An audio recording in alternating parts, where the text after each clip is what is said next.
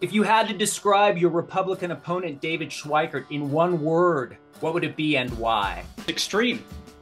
Uh, he, again, he paints himself as, as fiscally responsible. He voted for Trump's tax cuts, which were $3 trillion to our budget deficit. That's not fiscally responsible. Th- those are extreme positions.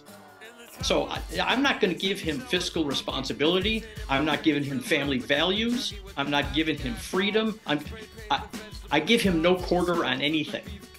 We're the party of fiscal responsibility and family values and standing up for the freedoms and democracy of this country. That's not him. That's me. That's us.